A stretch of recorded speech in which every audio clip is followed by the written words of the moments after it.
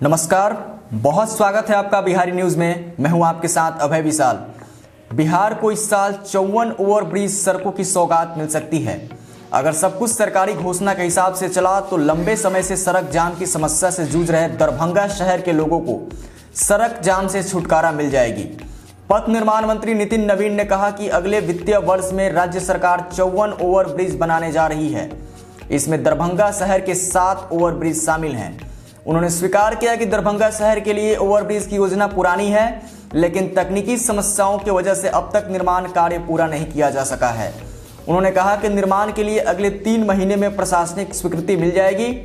बताया जा रहा है कि चार साल पहले रेलवे ने आरओबी की स्वीकृति दी थी, लेकिन अब तक निर्माण न होने के कारण नगर के लोगों को काफ़ी परेशानी हो रही है। लोग 24 घंटे जाम की समस्या से परेशान रहते हैं। दरभंगा में ये आर दोनार यूजियम गुमती दिल्ली मोड़ के निकट के रेल फाटकों के अलावा अन्य हिस्से में बनेंगे। वहीं जल संसाधन मंत्री संजय झा ने विधायक विजय कुमार सिंह के एक प्रश्न के जवाब में बताया कि विभाग में इंजीनियरों की कमी है। उन्होंने बताया कि कुल 355 स्वीकृत पद के एवज में सिर्फ़ 260 इंजीनियर ही कार्यरत हैं। बिहार लोक सेवा आयोग में इस समय इंजीनियरों का साक्षात्कार चल रहा है। अप्रैल तक विभाग को अपेक्षित संख्या में इंजीनियर मिल जाएँगे। मिली जानकारी के मुताबिक औरंगाबाद में एग्जीक्यूटिव इंजीनियर के पाँच पद हैं। इनमें से सिर्फ़ एक पद रिक्त है। नई बहाली होने के बाद यह कमी भी पूरी हो जाएगी। भवन निर्माण मंत्री डॉक्टर अशोक चौधरी ने राजद के भाई वीरेंद्र के एक अल्पसूचित के जवाब में कहा कि नौबतपुर, निर्मली, मझौल, बगहा, वैशाली, गोपालगंज, तेघरा, औरंगाबाद, कोवाकोल और लखीसराय में जल्द ही आईटीआई भवनों का निर्माण कर लिया जाएगा। बताया जा रहा है कि इन जगहों पर भवन निर्माण की योजना पिछले तीन वर्षों से लंबित है। आपको बता दें कि बिहार में लोगों को जाम की समस्या से छुटकारा दिलवाने के लिए सरकार के द्वारा सभी सार्थक कदम उठाए जा रहे हैं।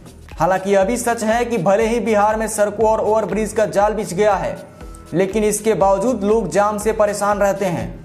अभी हाल ही में कुछ दिनों पहले एक खबर आई थी कि विक्रमशिला सेतु के समानांतर फोर लेन पुल का निर्माण प्रधानमंत्री पैकेज 2015 के तहत किया जाएगा। आपको बता दें कि प्रधानमंत्री मोदी ने पिछले साल ही इसके निर्माण का शिलान्यास किया है। अगले तीन माह में निविदा की प्रक्रिया पूरी कर कार्य शुरू करने का लक्ष्य निर्धारित किया गया है। प्राप्त जानकारी के मुताबिक पुल निर्माण से विक्रमशिला सेतु के ऊपर लगने वाले जाम से मुक्ति मिलेगी। दरअसल विक्रमशिला पुल पर गाड़ियों का लोड बहुत ज़्यादा बढ़ गया है। पुल दो लेन का होने के कारण कहलगांव से लेकर पूर्णिया तक अक्सर जाम लगा रहता है। समानांतर पुल बनने से न केवल जाम से मुक्ति मिलेगी, बल्कि उत्तर बिहार के सीमांचल का झारखंड और पश्चिम बंगाल के साथ सड़क संपर्क बेहतर हो सकेगा। इसका सकारात्मक प्रभाव शहर के व्यवसाय और विकास पर भी पड़ेगा। बता दें कि विक्रमशिला सेतु भारत में पानी का पांचवा सबसे बड़ा पुल है। कुल मिलाकर देखा जाए तो बिहार में नई सड़क और पुलों के निर्माण कार्य में तेज़ी लाने के लिए बिहार सरकार प्रयासरत है और सरकार द्वारा तमाम घोषणाएँ भी हो रही हैं। हालाँकि अब देखना दिलचस्प होगा कि इन घोषणाओं के अनुरूप कार्य हो पाते हैं या नहीं। अगर सब कुछ सरकारी घोषणाओं के अनुरूप रहा तो बिहार में जल्द ही लोगों को जाम की समस्याओं से छुटकारा मिल सकती है। तो अभी के लिए बस इतना ही। बिहार की हर छोटी बड़ी खबरों से रूबरू रहने के लिए देखते रहिए बिहारी न्यूज़। धन्यवाद।